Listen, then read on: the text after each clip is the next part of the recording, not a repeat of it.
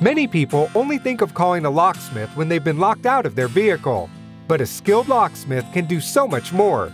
If you've ever had to replace your vehicle's smart key at the dealership, you know it can take precious time out of your day and cost $200 to $400, plus labor charges to program the key.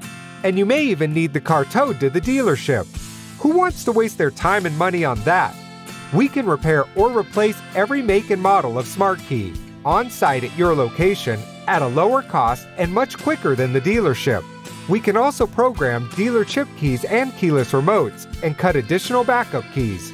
And of course, we'll still come and help you when you're locked out of your car. Contact us today